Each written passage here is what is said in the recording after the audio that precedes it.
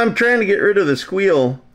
I just got I got a, a radio laying on top of an old tube amplifier. Nothing's grounded, and coax is too long. Power wire's six feet long, dangling in the air. So it's hard telling where that RF is getting back in here, Roger.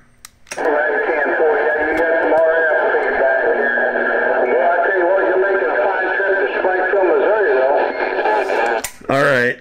I took an alligator clip. I took an alligator clip and put it on my microphone connection and grounded it. Did that get rid of the squeal?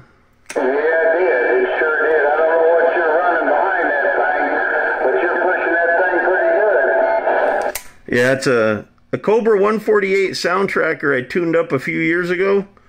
And then I got an old PAL 351B an old PAL 351B tuber here, and I just threw it all together for Thanksgiving Day here to make a video, and uh, it was squealing, and you helped me, you helped me get rid of it there. And anyways, waving a hand saying Happy Thanksgiving there, all the way back to Springfield, Missouri.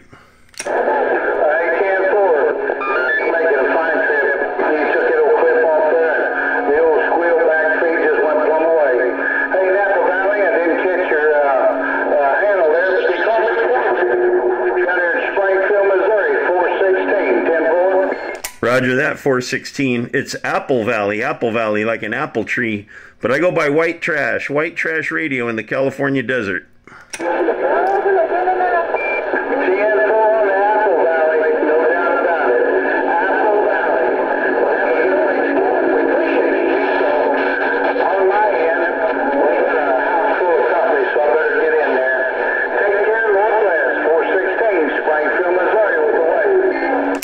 There, 416 Springfield, Missouri. If you want to know what your radio sounds like, I'm going to have a video up on YouTube later of this QSO. Uh, my username is Big CB Radio, but you'll just be able to put in 416 Springfield. Oh man, tongue twister. You'll be able to put in 416 Springfield, Missouri, and you'll find it, Roger.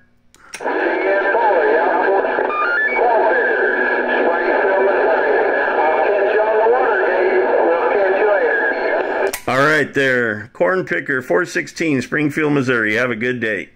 Yeah.